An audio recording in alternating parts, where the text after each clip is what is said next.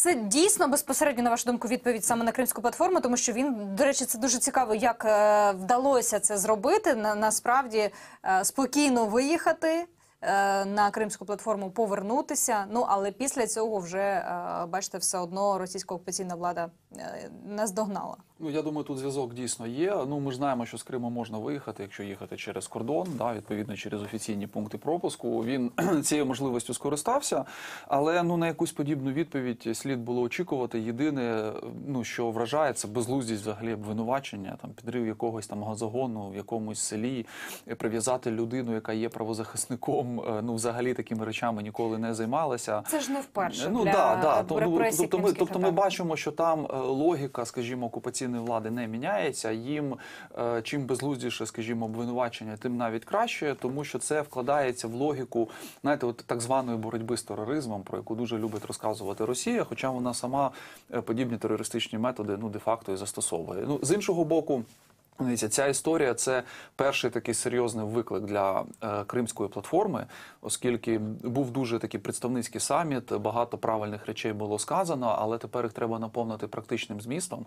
І оця історія або кейс, як люблять говорити в офісі президента, ну може стати насправді дуже показовим. Чи буде реакція всіх тих країн, які були підписантами цієї декларації, були присутні на цій кримській платформі? Якою буде ця реакція? Чи Зверне увагу на цю реакцію Російська Федерація. Чи будуть якісь нові механізми застосовані, які дозволять ну домогтися звільнення цих людей? І я так розумію, в нинішній ситуації їх виїзд на територію, яка підконтрольна Україні. Ну тому що їм залишатися в окупованому Криму безумовно Я якраз хочу е, про це зазначити і е, проаналізувати, чи стане ця історія м, нестандартною, чи стане вона початком якоїсь. е, Серйозної боротьби проти окупаційної влади в Криму.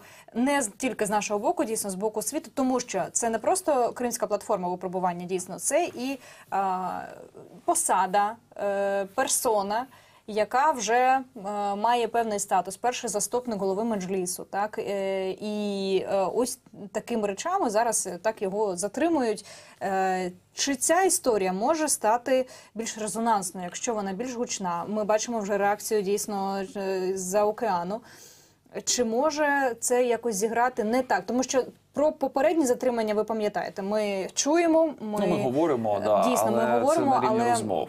Ну, дивіться, це ж я і кажу, що це певною мірою може стати прецедентом. Якщо цього не відбудеться, тоді ми жалем змушимо ну, констатувати, що за великим рахунком кримська платформа поки не виконує ті функції, які ну планували на неї покласти. Тому що там же ж червоною ниткою проходила теза про те, що це додатковий інструмент тиску на Росію, додатковий інструмент, який дозволить звільняти в тому числі наших людей, вирішувати якісь гуманітарні питання, е, там питання е, правового захисту, дотримання прав і свобод людини, там і так далі. Тому от зараз. Показовий насправді дуже такий момент, і е, поки що, ну на жаль, реакція ну можливо не є такою широкою, як нам би хотілося. Заява Сполучених Штатів це чудово, але дивіться, на тій же кримській платформі рівень представництва від Сполучених Штатів був не надто високий. Да? Деякі країни були набагато ну краще представлені. Реакції від них поки що немає. І плюс ця реакція не повинна бути розрізненою. Вона повинна бути якоюсь спільною. Грубо кажучи, Україна щось готує, ці країни підтримують, і на всіх майданчиках, де можливо, вони починають тиснути на Росію. що це може бути?